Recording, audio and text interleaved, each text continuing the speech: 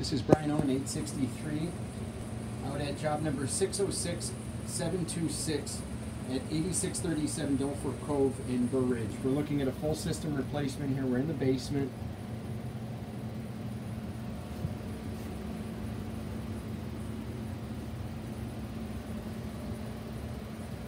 We're looking at furnace, AC, oil. There's a pipe that's blocking. Get around here for you guys.